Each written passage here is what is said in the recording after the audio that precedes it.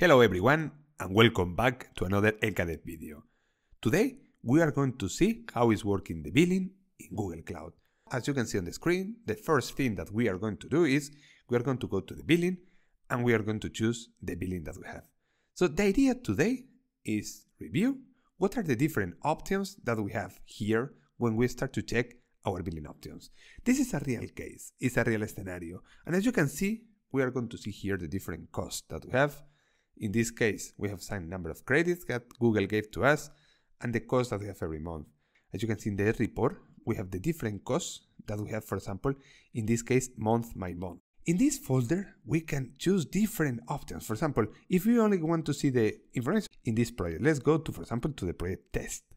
And we can see that something happened here. So we were spending a lot of money in this test. Okay, a lot of money, few times, but we were spending a lot of money in this project and something happened. So let's see what could be this case. As you can see here in this project test, we have a big expenses that is because of something that we don't know here because we are not having any information. So we know that this Compute Engine, the thing that is spending more money, so but we don't know really what it is. To do this discover, what I recommend you is this option here in group by. So you have you can see that there are many, many, many ways to group. For example, you can group for many components, but in this point is group by service, date, uh, date and service, date and SKU. If we for example, to this date and SKU, what we are going to see here is that the top one is this static IP churn. So there were an static IP that it was up and running until the 10th of January. And what happened this day? This day, someone removed this IP, and now what we have is amount of money in the storage, but it's only few themes. Here you have different options to see the different ways that you are spending the, the cost. For example, in this cost table, in this cost breakdown, where you can see the, the amount of money or in dollars or in percentage. And now there is here something is important for us. That is the budget and the alerts. What we do in this budgeting and these alerts. In this budget and this alert, what we are doing is we are telling, hey, I want you to tell me when something is happening in my project or in my billing account and it's crossing a limit. But this limit is a monetary limit. For example, as you can see here, we have a limit of $30, 30 euros, sorry. And as soon as we cross this limit, something is happening. In this case, it's going to send to us an email. What we are going to do here now. So we have this budget of 30 that it is connected to all these five projects, connected to all the services, connected to this organization. And we are going to do now is we are going to change this amount and we're going to give, for example, a budget of 60 euros. And why I said this 60 euros? Because it's going to cross. Because I want to know, and I know that it's going to be every month something like more or less 70.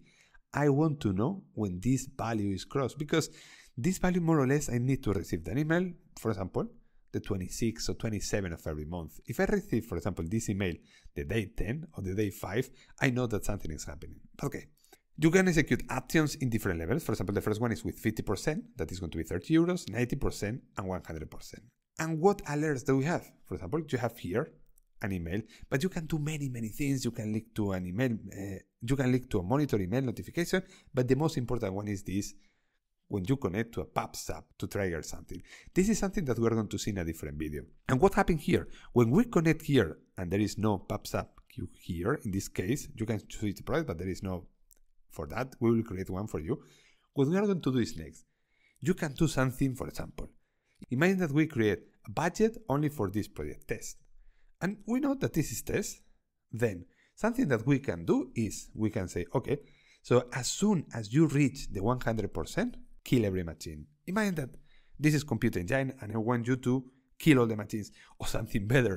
Stop the machines because this is going to be better for me. Or disconnect the project to this billing account. Or for example, send an information to Slack because you can create a code here and this PubSub is going to be connected to a code.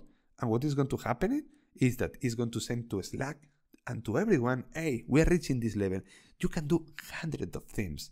We have more elements with this cost optimization, but this is something that we'll see in another video too. This is only to show you how is working this information and how Google is offering to you the capacity to be able to create a report. I hope that you enjoy and see you next time. Do you think your project infrastructure is well set and maintained? We know for sure there is always room for improvement. If you are uncertain where to begin, let's first do an audit of what you already have.